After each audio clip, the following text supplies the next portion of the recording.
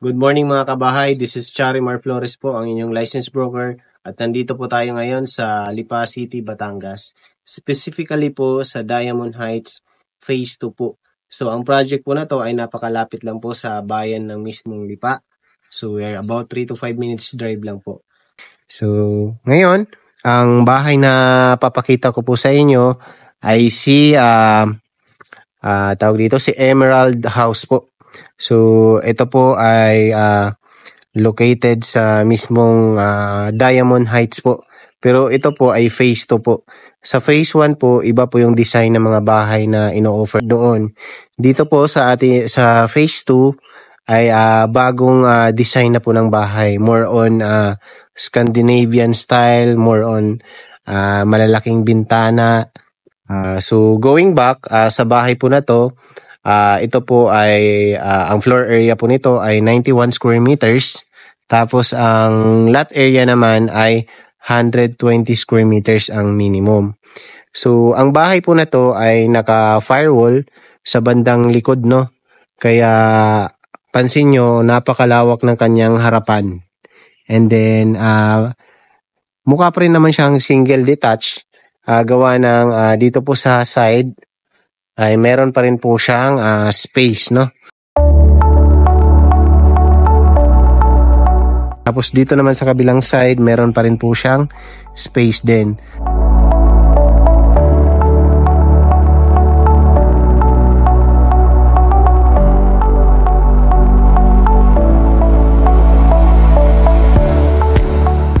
So ang kagandahan ng ganito na naka-firewall yung bandang likod ng bahay ay ganito kalaki yung space mo sa harap. So alam nyo na kung ilang sasakyan yung possibly kasya po dito. So kung malalaking sasakyan po, possibly po ay tatlo tatlo yung uh, kasya dito pero kung uh, ano po uh, sedan na mga sasakyan ay apat po yung pwede nating ilagay dito. Pero ang pinaka uh, ano po dito, ideal po ay tatlong sasakyan lang para hindi po maharangan yung ating uh, pintuan or yung pinaka uh, entrance ng bahay. Yan ang ating uh, balcony, kita nyo naman. Uh, napaka-social ng datingan ano. Tapos uh, may malaking uh, uh, bintana tayo dito sa harapan, uh, living area po yung nandyan. Actually, itong bintana po na to ay na-sliding yan. So, kapag binuksan nyo ay talagang uh, talagang yung hangin na nanggagaling sa labas ay ano uh, mabilis makapasok kasi tingnan nyo naman napakalaki ng uh, uh, ating windows mula doon hanggang dyan. Parang more on ganito yung style ng mga condominium no na halos hanggang baba na po yung uh, windows. Then, uh, silipin natin yung bahay na to na nasa likod natin na napakaganda. So, ito yung kanyang uh, uh, entrance. Or parang may canopy pa siya, no? Na style, no? Para hindi maulanan kapag papasok. So, yun yung kanyang uh, pintuan naman. So, solid panel door po yung ating mga pintuan dito. Alright. Ito yung pinaka uh, floor layout no, ng uh, Emerald na house po. Bali, uh, naka-firewall po yung dito sa uh, likod na portion po. So, ito yung kabuuang lote para sa 120 square meters. May vacant space dito, may vacant space. And then, uh, sa harapan. So, kaya po ganun kalaki yung magiging garahe po. So, Uh, yung ating, uh, ito po ay layout ng mga bedroom sa second floor. So, dalawa yung uh, kanyang CR, isa sa master's bedroom, tapos isa yung common uh, toilet po. Sa ground floor naman ay ganun din, no? May mga vacant spaces dyan sa gilid and sa harapan. And then, uh, meron siyang, sa likod ng kitchen ay merong laundry area. Uh, tapos, uh, ito yung ating dining na may sliding. Uh, access going to future garden po. Tapos, ito yung living area na may malaking uh, window sa harapan po. Tapos ito yung ah, entrada. Tapos may powder room po sa baba. So overall, tatlo yung ah, ating toilet and bath. Yung isang toilet and bath ay ah, maliit po. So tara po.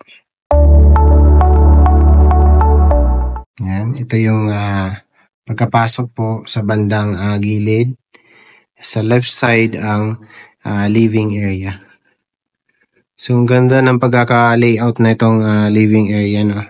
So, yun yung malaking ah, ah, bintana sa harapan po. Tapos may extra bintana pa po dito.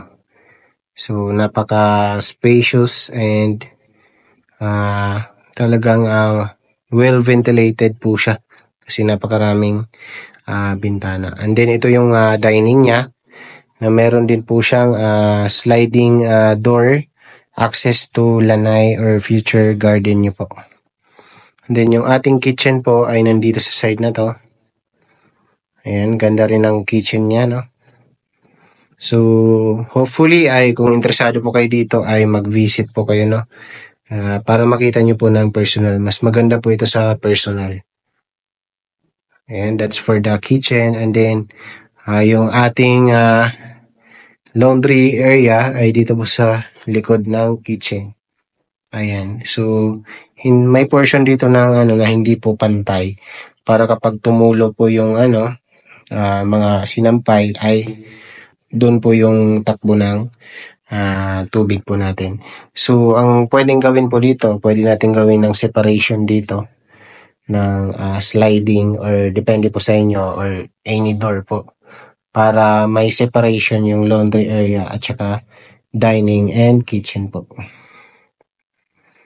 So yan, may provision din siya para sa ah, para sa lababo dito sa laundry area. So ito yung ah, ito yung door access dito sa ah, space mo sa kabilang gilid no. Yan.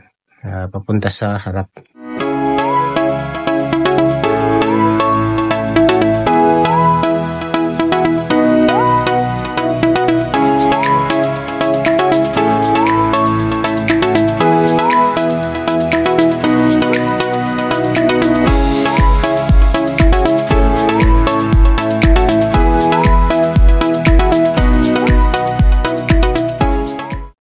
Ayan, so ito naman yung kanyang hagdanan, no? So, yung hagdanan na to ay ah, napakaluwag.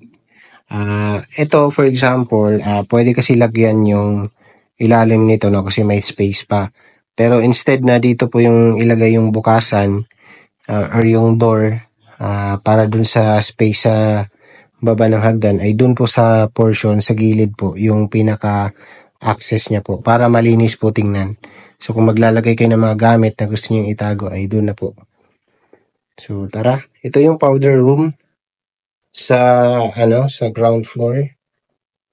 Yan. Maliit lang yung space nito pero lumuwag siya gawa ng yung hagdan po ay hindi makipot. Ayan. So let's go sa taas po. Pansin nyo naman na yung hagdan natin ay buhos po siya no mula dito sa ground floor up to second floor. And maluwag po yung hagdanan and hindi siya matataas yung steps kaya hindi kayo hihingalin kapag paakyat ng ah, stairs po. Yan, so high ceiling din yan. So pwede kayo maglagay ng chandelier tulad niyan. And then meron din po siyang ah, window sa pagkaakyat ng hagdan kaya ah, social yung kanyang datingan. Alright, so sandito na tayo sa second floor. Regarding sa specifications and price po ng bahay na to ay ah, akin na lang pong ilalagay ano.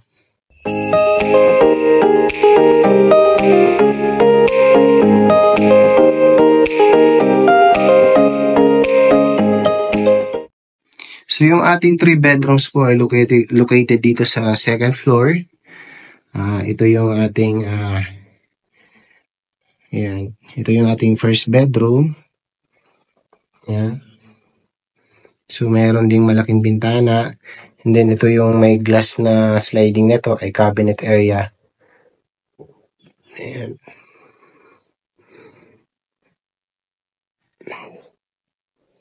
And then, ito yung ating uh, first toilet and bath dito sa second floor. Common toilet po ito, ano. Ang ganda rin ng kanyang uh, finish. And then, then ito naman yung ating uh, second bedroom sa taas. So, ang ganda rin ng kanyang uh, finish na. So, isa pa sa kagandahan nito ay mataas po yung ceiling niya. So, ang ginawang setup dito ay double bed po siya, no? Pero pwede nating, ah, uh, pwede nating actually isang bed lang na mataas. And for example, dito, dito yung portion ng bed niya. And then, uh, yung sa baba ay, uh, for example, ito, pwedeng dito sa ilalim. So, mag insert po ako sa inyo ng sample ng sinasabi ko po no, para magka-idea po kayo. Yan. So, may bintana rin po siya. Tapos, uh, nakapaglagay pa siya ng mga ganitong setup, no? Then, malaki rin po yung kanyang dresser. Pero hindi po yan kasama yung dresser. For idea lang po yan. So, maganda kung makakapag paggawa kayo ng ganitong kagandang dresser, no? Alright, doon naman po tayo sa uh, master's bedroom. Alright, so ito yung ating master's bedroom. So, meron siyang uh, access going to balcony area. And then meron pa siyang space dito. Ayan. Kaya maluwag po siya. May enough space para maglagay ng ganito kagandang uh, relax uh, sitting chair, no? So, pwede rin maglagay ng uh, massage chair sa area na yan. Ito naman yung uh, kanyang um, sariling toilet and bath dito sa master's bedroom.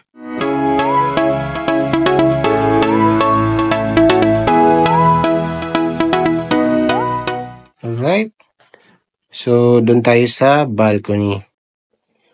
So, ganito kaganda yung kanyang balcony, no? Imagine nyo, natutulog kayo, tapos in the morning, ay uh, meron kayong uh, table dito, tapos magko-coffee-coffee na lang. Chill, Uh, after uh, a long week of work. Ayan, so napakaganda ng balcony. And spacious na rin po yung balcony po, no? So, pwede kayong maglagay actually ng mga halaman pa dito. Ayan, para mas maganda. Pag habang nagko-coffee kayo ay may mga flowers na kayong makikita or greeneries.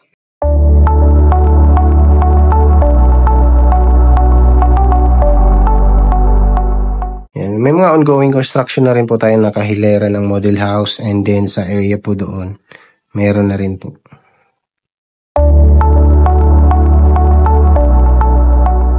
Alright, that's it for our ano no, uh, uh, Emerald House. Uh, again, uh, yung ating Emerald House po ay 3 bedrooms na may 3 toilet and bath. And then, uh, meron siyang uh, uh, parking space na up to uh, 3 uh, SUV uh, parking. And then, uh, for the detailed computation ay ilalagay ko na lang po dito sa ating video po. And then, uh, by the way, pwede po tayo sa, uh, uh, dito, pwede tayo sa pag-ibig or bank financing or in-house financing. Yan, if ever naman ay naghahanap kayo ng ibang uh, layout po ng bahay dito sa Diamond Phase 2 ay meron din po tayong uh, ibang house model Uh, yung house model naman po ito ay naka-firewall yung isang side ng bahay po. So, meron siyang space dito sa harapan na malaki pa rin naman. Ideal po ito para sa paglalagay ng garden uh, sa mga mahihilig mag-garden po. Pwede pang uh, dalawang sasakyan na pahaba yung magiging uh, carport niya. Dalawa na lang po yung kasyang parking po dito gawa ng lumiit po yung space sa harap ng bahay. Uh, yung kanina na pinasok po nating bahay ay ang firewall niya ay nasa likod. Ito po ay nasa isang side o nasa isang gilid po. So meron siyang space pa rin sa uh, likod na part. Pero di na po natin papasukin ito gawa ng uh, marami pa pong uh, construction materials sa loob. So hindi pa natin ma uh, ma-appreciate talaga siya. So yung possible magiging kitchen nyo dito ay pwede nyong ah, i-transfer dito sa likod na part kasi napakaluwag pa ng kanyang space no. Then pwede po kayong maglagay ng bubong pa sa likod na portion. So yung design niya ay maganda pa rin no. So merong mga lights na ganyan. So nakakapagpa-social and then malalaking bintana sa mga ah, bedrooms. And then meron din po siyang ah, sliding dito sa may ah, I think ito yung magiging ah, dining area niya. Ayan. Then yung kanyang ah, balcony ay naka ano pa rin no, naka-usli pa rin yung kaya yung pinaka style niya kasi nagsisilbi siyang ah, pinaka ah, cover ng yung ah, entrance or main door po. Ayan, so napakaganda ng bahay po na to. And then if interesado ka, ay mag-message po kayo agad para makapag-schedule tayo ng tripping. For schedule po yung tripping natin para maiwasan po yung ah, ating ah, pagkasabay-sabay ng tripping. So yan po yung kanyang tawag dito. Ah, parang nagsisilbing septic tank po. So tatlo po yung division. ah. So napakaganda po. So ano pang inaantay nyo? Magpa-schedule na po kayo ng viewing. Ah, yung ibang ah, details ng bahay po na to ay akin na lang pong ilalagay dito sa video. Pati sample computation po. So that's all. Again, this is Charimar Flores po, ang inyong licensed broker. And ah, maraming salamat po ulit sa inyong walang sawang panonood sa ating video. And kung di ka pa nakapag-like and subscribe sa ating channel, ay click nyo na po yung button sa ating baba. And see you po sa next video natin. Bye-bye!